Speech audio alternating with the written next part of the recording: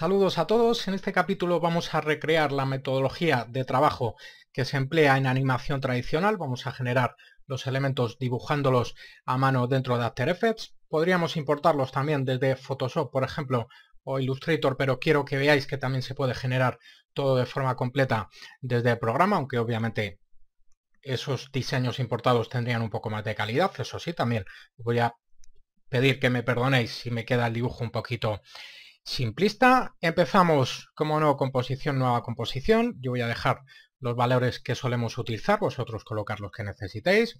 Pulsamos en aceptar.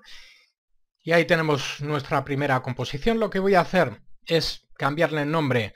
Vamos a hacer composición, ajuste de la composición. Y voy a colocar como nombre fondo.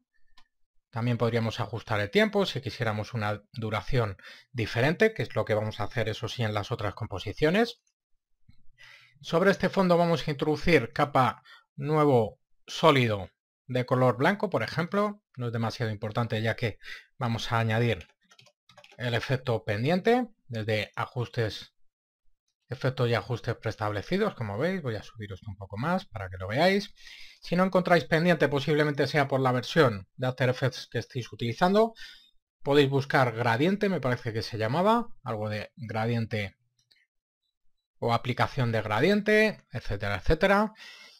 Vamos a ajustar los manejadores de esa pendiente. Como veis, arrastramos. En el blanco vamos a colocar un azul un poco más oscuro. Y en el inicio un un poco más clarito, más o menos así nos puede servir. Pulsamos en aceptar, cambiamos el tipo de pendiente a pendiente radial y ya tenemos nuestro fondo. Sobre este fondo vamos a ir introduciendo los diferentes elementos y lo que vamos a hacer es generar varios, como he dicho, pintando y luego generaremos proxies. Además, vamos a ver cómo funcionan los proxies, básicamente porque no va a funcionar demasiado bien. Como vamos a ver la animación de esos nuevos componentes pintados. De todas formas se verá más claramente cuando los introduzcamos. Composición, nueva composición. A esta voy a llamarla, por ejemplo, cuerpo vamos a usar unas dimensiones un poco más reducidas, por ejemplo 500 por 500. La duración en principio no es relevante, en este caso pulsamos en aceptar y ahí tenemos nuestra nueva composición. Lo que vamos a hacer es pintar sobre ella. Para eso necesitamos capa nuevo sólido, por ejemplo vamos a utilizar ese de color blanco. Y la herramienta pincel, vamos a ir ofreciendo algunos detalles sobre esta herramienta de pincel. Para empezar a pintar necesitaremos pulsar dos veces con el botón izquierdo del ratón sobre nuestra capa. Como veis se activa y aparecen los controles de esa herramienta pincel. Además aparece, ahora en cuanto empecemos a pintar va a aparecer aquí el efecto aplicado. Y fijaros que tenemos diferentes modos. En principio vamos a trabajar con el normal, no vamos a ver demasiados detalles. Aquí tenemos los pinceles, también podemos ajustar diámetro, dureza y varios parámetros adicionales que veremos. Importante como canal RGBA porque si no luego no vamos a poder aplicar la transparencia. Si esto está en otro modo, aseguraros de colocarlo en RGBA para aplicar esa transparencia posteriormente. Y también tenemos esa duración que en esta primera opción vamos a utilizar constante en esta primera composición. Luego ajustaremos como sea necesario. Y vamos a empezar dibujando. Voy a ajustar el diámetro y voy a subir un poco aquí para controlar principalmente la dureza, que es la que me interesa. 100%, vamos a empezar con este valor. Voy a pintar, por ejemplo, de este color. Como digo, perdonadme ya que esa mano alzada, que no me quede demasiado bien. El diseño. Pero obviamente si vosotros podéis hacerlo mejor y tardar un poco más de tiempo es preferible para el resultado del ejercicio. Vamos a dejarlo más o menos así. Si tenemos una tableta gráfica también esto nos resultará más cómodo y más sencillo. También podemos borrar en el caso de que queramos definir algún detalle. Seleccionamos goma de borrar, ajustamos igualmente el diámetro y la dureza si fuera necesario. Y nos aseguramos de que esté activado ese origen de capa y pintar. Podemos utilizar solamente en el pintar o solamente en el último trazado. Yo prefiero esa primera opción, aunque tenemos las otras disponibles. Fijaros cómo aparece también ese fondo.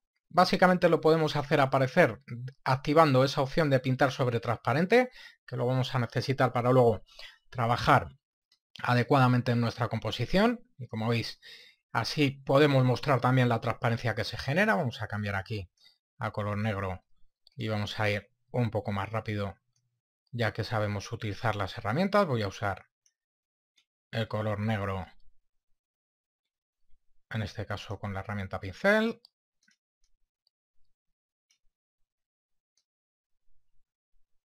Voy a ajustar el diámetro, un poco menos, así aproximadamente está bien. Y vamos a hacer, a definir simplemente de forma sencilla nuestro diseño. Aquí pintaré con un poco de color carne. Ahí se me ha escapado el botón derecho del ratón. No os preocupéis que no he pulsado en ninguna opción adicional. Vamos a hacer así, como si tuviéramos aquí una especie de brazos. Y aquí vamos a crear así un cuello sencillo. Y como estaba comentando voy a cambiar ese color. Por ejemplo, este de aquí, vamos a definir una especie de cuello, también sencillo para no complicarnos demasiado. Más o menos así está bien. Y de igual forma que hemos hecho antes, vamos a cambiar al color negro y a pintar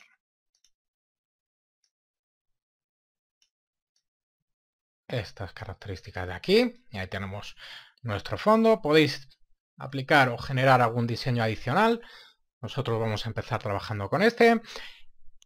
El cuerpo en principio es estático, así que no vamos a necesitar generar nuevas capas. Volvemos a proyecto. Fijaros, introducimos el cuerpo sobre el fondo.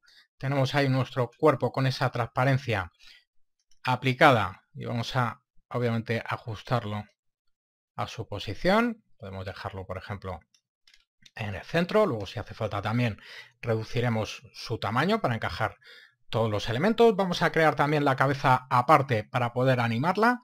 De esa forma, por separado, nos va a resultar más cómodo. Capa, antes de nada, composición, nueva composición. Vamos a llamarle cabeza, de igual forma que hemos hecho antes. Mismas dimensiones, todo igual. Capa, nuevo sólido de color blanco y vamos aquí a dibujar una cabeza muy rápidamente, vuelvo a repetir, en mi caso herramienta pincel, pulsamos dos veces sobre nuestra capa, voy a seleccionar el color, aunque voy a empezar mejor, en este caso vamos a empezar sí con el color de piel y luego ya iremos trabajando desde detrás hacia adelante, vamos a aumentar ese diámetro y luego borraremos si fuera necesario. Demasiado oscuro, vamos a aclarar un poco más.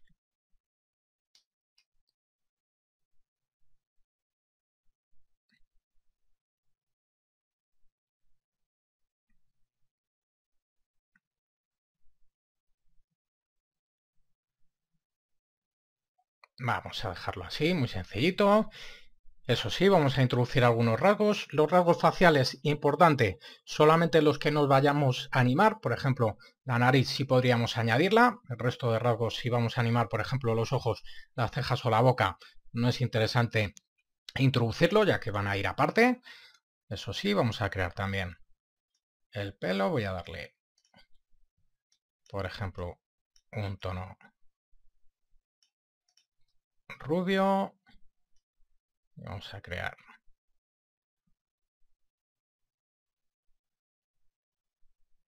Luego trazaremos con color negro.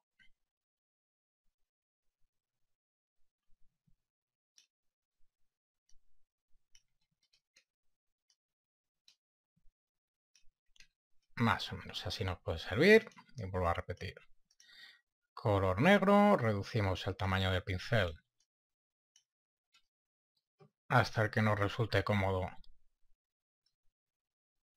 Y vamos a empezar a trazar. Yo en mi caso estoy aplicando el contorno, pero vosotros no tendríais por qué introducirlo. Podríais hacerlo con otro diseño, obviamente. Eso ya como, como queráis. Vamos a crear aquí en la parte superior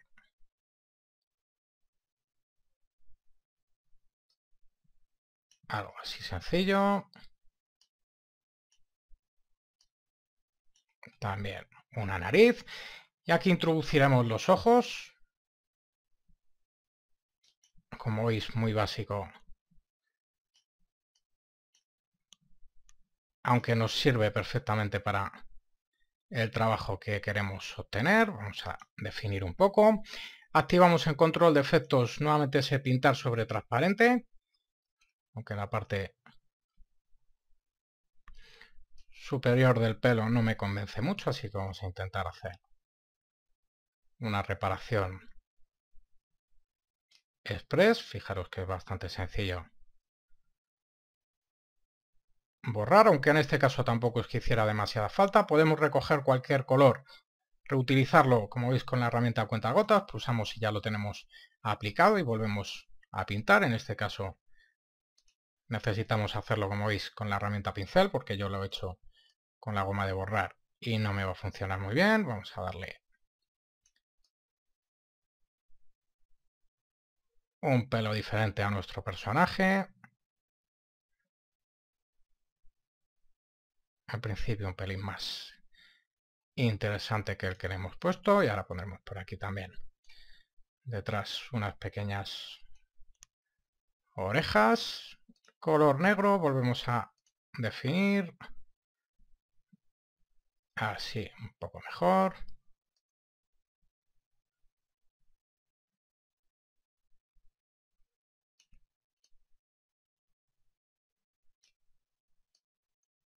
Así, por ejemplo, podríamos también volver a recolorear, pero así nos puede valer para lo que necesitamos. Vamos a introducir también algún detalle aquí en la cabeza y seguimos trabajando en detalle. Ya tenemos, como veis, el cuerpo y la cabeza. Vamos a ir a volver a ese proyecto. Cabeza arrastramos sobre el fondo y tenemos ahí nuestra cabeza que necesitamos ajustar. Herramienta de selección. Colocamos en su posición. Ahora es el momento de ajustar el tamaño. Por ejemplo, vamos a seleccionar el cuerpo. Pulsamos la tecla S y reducimos la escala y colocamos. Vamos a colocarlo por ejemplo aquí. Seleccionamos la cabeza, tecla S y reducimos también la escala. Posicionamos y vamos a ajustar el punto de anclaje. Por ejemplo, en este caso podemos hacerlo directamente abriendo y como veis subiendo el punto y ajustándolo aproximadamente al centro, recolocamos. Lo que hacemos de esta forma es que si seleccionamos, por ejemplo, rotación y rotamos, en este caso estoy vamos a dejarlo un poco más grande. Como estaba comentando, si ajustamos la rotación, fijaros que podemos animar esa cabeza posteriormente y luego anclaremos el resto de elementos. Y vamos a crear ya esos conjuntos móviles que vamos a realizar con nuevas composiciones. Para ello lo que vamos a hacer es capa, antes de nada, nuevamente composición, nueva composición.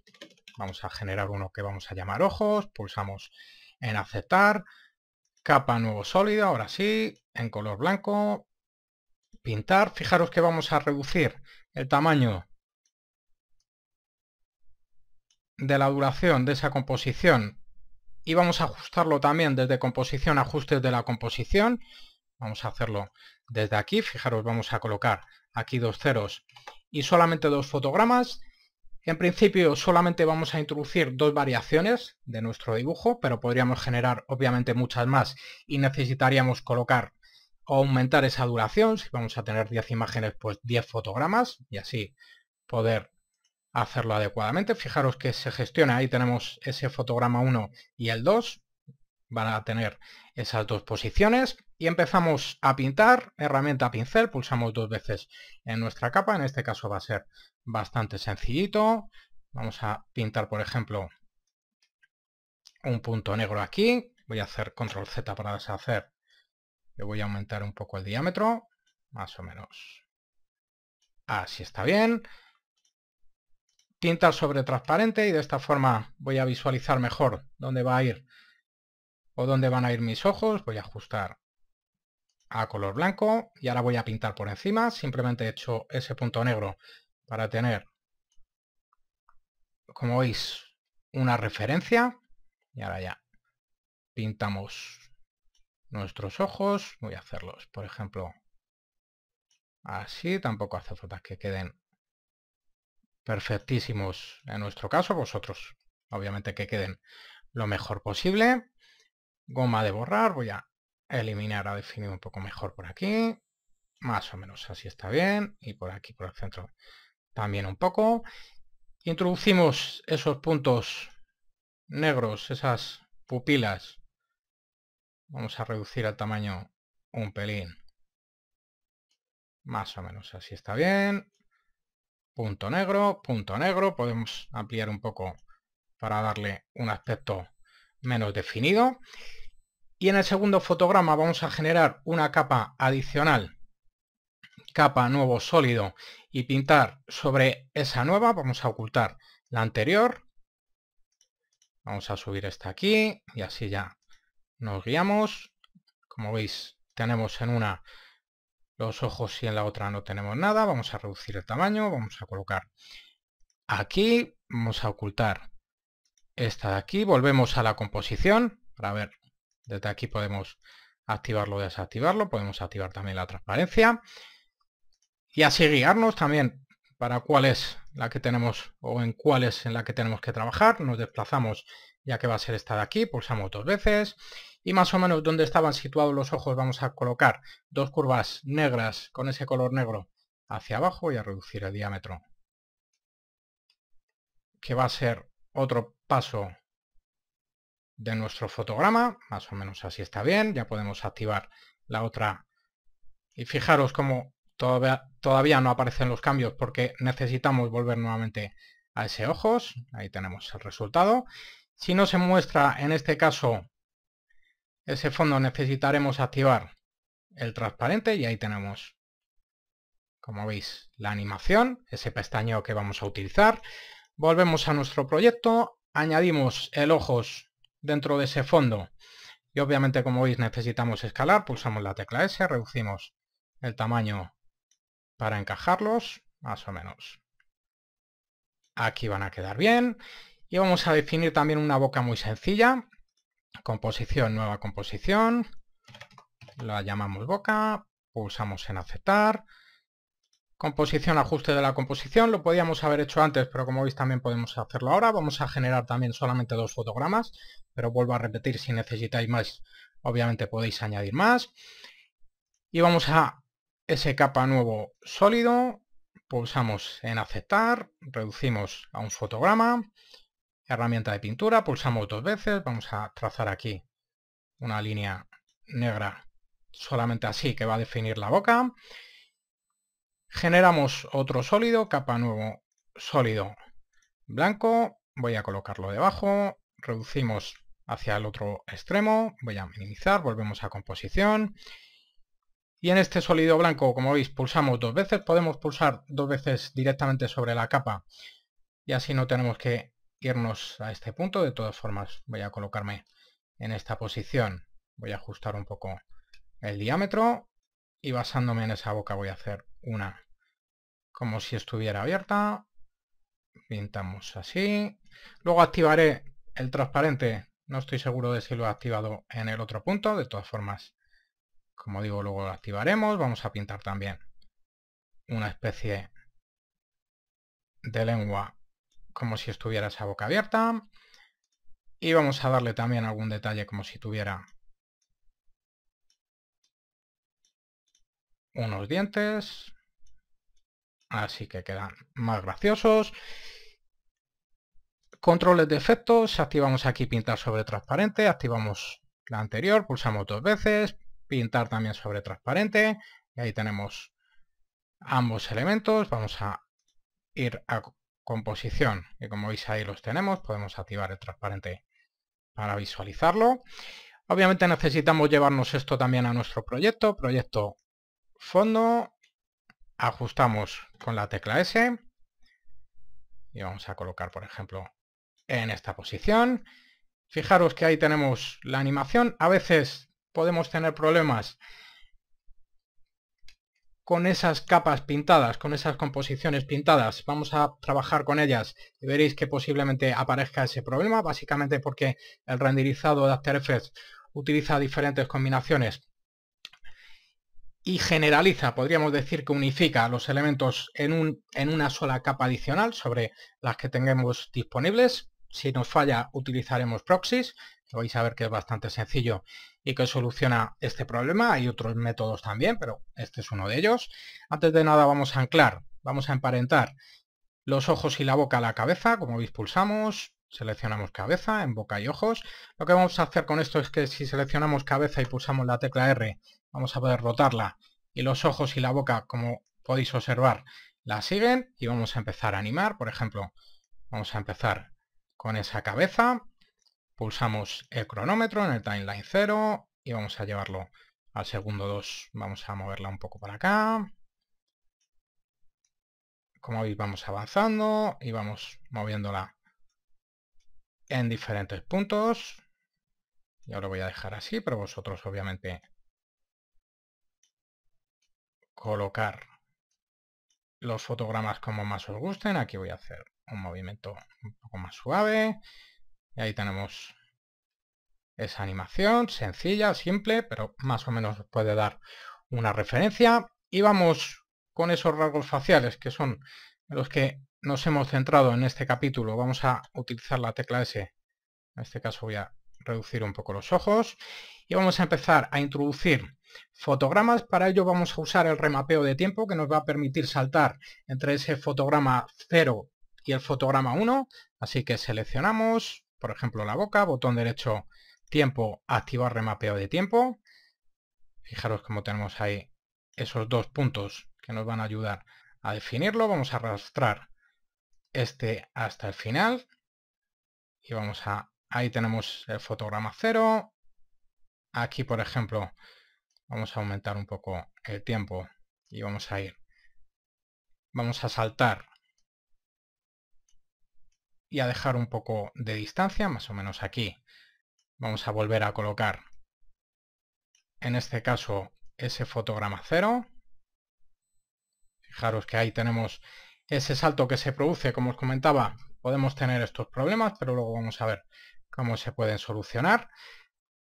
Y aquí utilizaríamos el fotograma 1 y volveríamos a colocar en esta posición el 0 para volver, fijaros que no aparecen los elementos que deberían de aparecer. Antes de nada, obviamente, vamos a estirar un poco esto de aquí, porque si tenemos la capa en dos fotogramas, obviamente no va a aparecer nada y vamos a hacerlo también con esta inferior. Antes de nada, botón derecho. Tiempo, activar remapeo de tiempo, que en esta no lo hemos activado y ya podemos estirar hasta el final. Ahí está bien. Y seguimos trabajando en nuestra animación. Ahora vamos a realizar ese ajuste que os estaba comentando. Como veis ahí tenemos ese salto de nuestra boca y se puede apreciar cómo se produce un cambio pero realmente no aparece ese fotograma 1, que es el que debería de aparecer.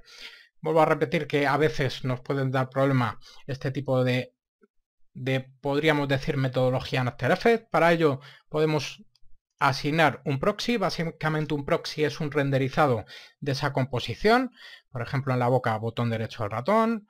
Crear proxy, en este caso película, ya que necesitamos dos puntos. Podemos asegurarnos de esa calidad. Voy a ajustar a calidad óptima. También podemos ajustar la duración. En este caso, como veis, tenemos ese fin al 1 que nos puede servir. Y también podemos ajustar el módulo de salida. Yo voy a dejarlo por defecto. Pulsamos en procesar y ahí lo tenemos procesado. Si volvemos al fondo, vamos a ver cómo ahora, fijaros, trabaja perfectamente. Básicamente porque al definir ese proxy estamos renderizando esa capa por separado. Tendremos que hacer lo mismo con los ojos, así que sobre esa composición, botón derecho, crear proxy, película, y vamos a marcar igualmente en este caso óptima, porque nos interesa la mejor calidad. Pulsamos en procesar y nos vamos a ese fondo nuevamente, pulsamos dos veces y ahí tenemos, como veis, ahora ya sí, los elementos trabajando adecuadamente y vamos a hacer una animación muy rápida para obviamente comprobar que todo funciona y que se anima bien. Ahí tenemos ese remapeo de tiempo. Vamos a desplazar, en este caso estoy arrastrando los dos fotogramas. Voy a pulsar para soltar uno y vamos a colocar alguno intermedio, por ejemplo en este punto. Como son los ojos, vamos a marcar pulsando en el rombo. Aquí vamos a tener un parpadeo. Para ello nos vamos a ese 1. Fijaros que si trazamos hacia arriba no ocurre nada. Podemos definir en ese punto y luego volver a reducirlo. Y así vamos a añadir alguno más. En este caso primero el 0. Y luego ya volvemos. Uno intermedio, volvemos. Y así vamos a ir marcando podemos hacerlos más rápidos o más cortos. Aquí vamos a introducir uno bastante rápido. Fijaros si nos acercamos y lo hacemos en el fotograma siguiente y luego en el siguiente nuevamente esa apertura vamos a tener uno mucho más rápido. Vamos a ajustar esto de aquí, vamos a ver el resultado. Ahí tenemos, como veis, los parpadeos. Aquí tenemos otro, el inicial, otro más, ahí está. Y vamos a darle también un poco de animación a la boca para terminar. Básicamente la metodología es la misma, pero en este caso vamos a duplicar estos de aquí. Obviamente si introducimos muchos más dibujos, muchos más fotogramas para producir esa animación de la boca o de los ojos va a quedar muchísimo más realista. En nuestro caso hemos hecho solamente dos para acelerar un poco el proceso. Vamos a hacer control C sobre esos tres fotogramas y vamos a ir pulsando control V, arrastrando ese marcador en el timeline. Como veis, por ejemplo, vamos a colocar otro aquí, otro aquí, y así vamos añadiendo, que vaya hablando nuestro personaje. Ahí ha tenido un poco más de charla. Y vamos a reproducir, a veces no se notan los cambios hasta que reproducimos en esa velocidad normal. Ahí lo tenéis. En principio se puede observar, quizá nos interesaría ajustar esa duración para tener, en principio, que dure más y que estén más juntos unos elementos a otros. Incluso alguno de estos se puede eliminar, porque podríamos también introducir siguientes saltos, como veis. Ahí tenemos. Vamos a eliminar este de aquí. Vamos a recoger solamente estos de apertura.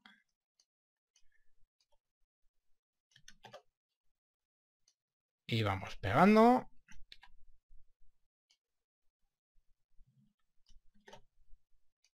Podemos acercar a uno más si queremos. Eso ya lo dejo a vuestro gusto. Va a hacer que parezca que habla un poco más rápidamente.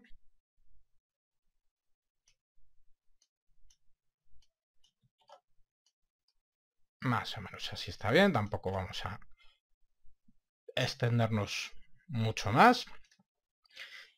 Y vamos a pulsar sobre previsualización. Antes de nada, comentaros que obviamente también podemos activar para esas capas, como veis, el desenfoque de movimientos si tenemos movimientos rápidos, aunque hay que tener cuidado porque en algunas ocasiones el fotograma intermedio que se genera puede que parezca demasiado extraño, así que hay que tener, como digo, precaución. Y por supuesto ya tendríamos nuestro trabajo finalizado. Muy importante este último detalle. Para asegurarnos que se renderiza adecuadamente, que se genera adecuadamente nuestra composición, debemos de decirle a la hora de crearla que queremos introducir los proxies que hemos generado por ello, cuando vamos a composición y obviamente añadimos esa composición a la cola de procesamiento para que luego posteriormente nos genere esa secuencia de vídeo. Fijaros que tenemos en ese fondo varias opciones. Una de ellas ya sabemos que es esa configuración óptima. Si pulsamos veremos que tenemos aquí arriba varias propiedades, varios atributos que nos van a permitir, como veis, utilizar los proxies que hemos definido. Por defecto está en no utilizar proxy. Deberemos de colocar, por ejemplo, utilizar todos los proxy, siempre que tengamos en la composición y que no hayamos configurado esas opciones. Como veis, uso de proxy, utilizar todos los proxy. Y con esa opción ya tendremos la seguridad de que al renderizar, al procesar nuestra secuencia vamos a introducir esa animación, no van a producirse defectos en la creación de nuestra secuencia, básicamente porque si no aparecerían los mismos defectos que podíamos apreciar anteriormente y solamente nos quedaría obviamente generar la previsualización en el caso de que fuera necesario, como no, también procesar, cualquiera de las dos opciones es viable Obviamente para el resultado final tendremos que pulsar en ese procesar. Y ahí lo tenéis. Esto es todo por hoy. Saludos a todos y hasta la próxima.